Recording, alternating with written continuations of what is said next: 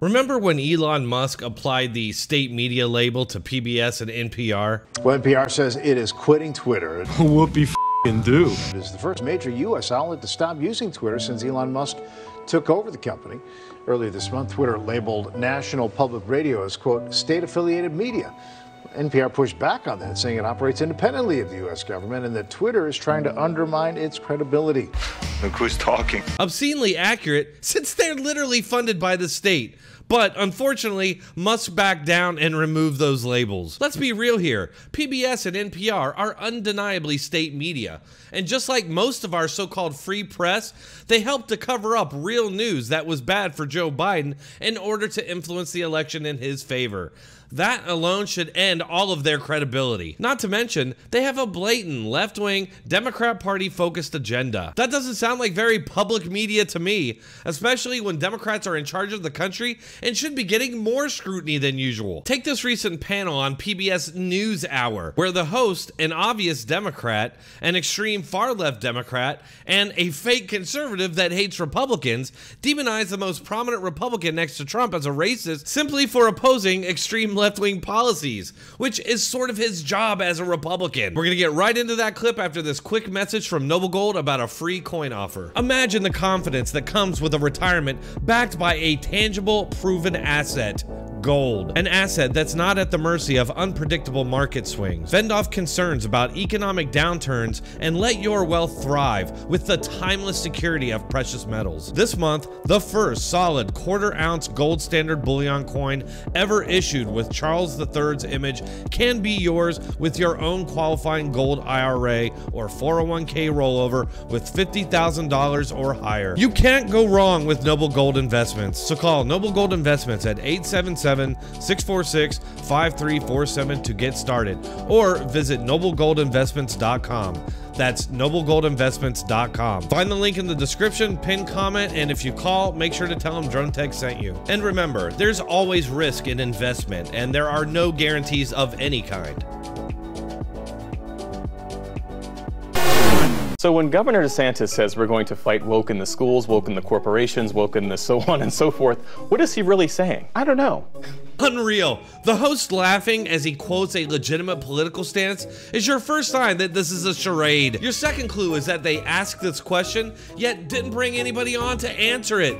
Because the entire purpose of this segment is to demonize anyone who stands up to the woke cult, which is basically just an unquestioning mob of extreme far leftists forcing their pseudo religious beliefs and conspiracy theories on the rest of us. What is he really saying? I don't know. No, Jeff, I, am being serious. I do not know. I would love for the governor to define woke. What does it mean to him?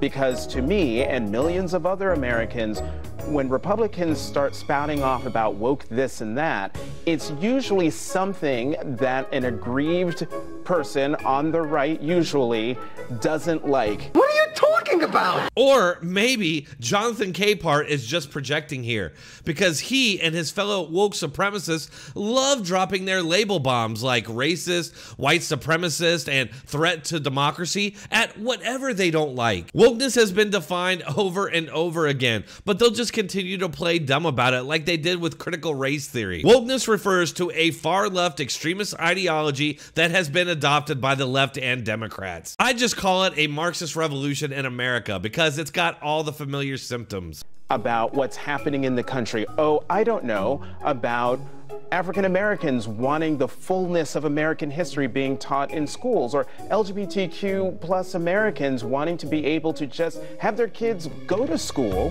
and be able to talk about what's go what what did they do that weekend without getting their teacher or themselves in trouble. Those are just two examples. All right, he's just lying and misleading here. This is not about teaching black history, which has been and will continue to be taught. This is about injecting far left ideology and revisionist history that's been derived from that that into the public school systems. So what these teachers are doing, and they're being trained on this, this is in our trainings, is they are being trained to treat students differently based on the color of their skin.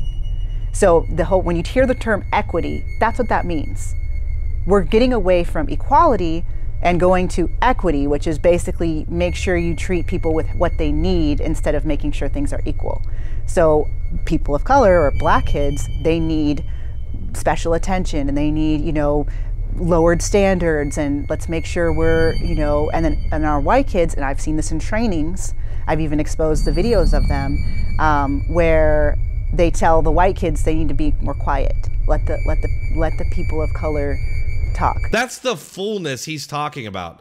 There is no right to push your ideological or religious belief in the public school system. Lastly, this so-called LGBT plus stuff that's being banned in the schools is literally pornography, which instructs kids about how to give blowjobs and use adult sex apps. Why do kids need to learn about blowjobs and adult sex apps, Jonathan?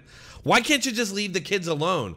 Why can't public school teachers just teach them the things they need to know and leave all that stuff up to the parents? Oh, but they can't do that because the parents are the enemies to Marxist revolutionaries like Jonathan Capehart here. To Jonathan's point, I was speaking with a Republican strategist who said the, the political utility of woke is that it is whatever you want it to be, and it is whatever the listener hears. Again, they're so sure of this because it's what they do on a regular basis with labels like threat to democracy, weapon of war, assault weapon, racist. It's whatever the listener wants it to be. Uh, well, yes and no. First, I should say DeSantis is obviously quoting Churchill or citing Churchill. There, we'll fight them on the beaches Yeah, on the that's- landing strips. Uh, it's offensive.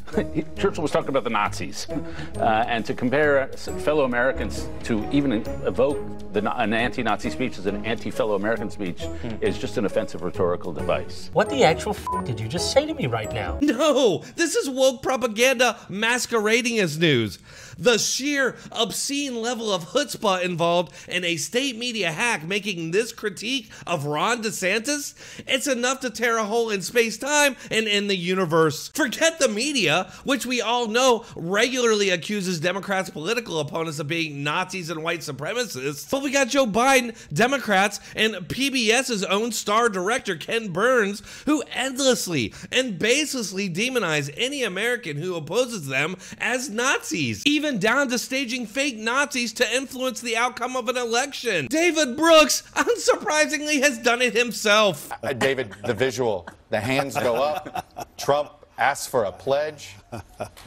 Wow. I just, I was flabbergasted. we're going to get Trump, we might as well get the Nuremberg rallies to go with it. Oh, that was different. The reason the woke movement is compared to Nazis is because they look and act like them. As always, these ghouls on PBS are either lying or lack any semblance of self awareness. If they wanted somebody to articulate wokeness, they could have brought somebody on their show like Chris Rufo.